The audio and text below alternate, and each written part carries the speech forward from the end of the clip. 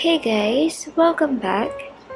Today we are going to talk about the tire size for the 2014 Cadillac CTS. And if you are looking for the tire size for your 2014 Cadillac CTS, I have already looked it up. Just check the video description and I will try to leave the info there as well. The tire size for your 2014 Cadillac CTS is 235, 50, 16. Driving on bad tires is terrible for your car and a danger to you. Worn out, old and damaged tires cause unnecessary wear and tear on your car.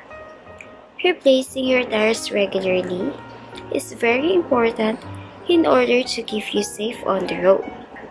So once again, the tire size for your 2014 Cadillac CTS is 235, 50, 80. And if you know a cheaper place to buy tires for your car, make sure to leave a comment and let the rest of us know. Don't forget to check the video description for the most recent price. Thank you for watching. Please like and subscribe.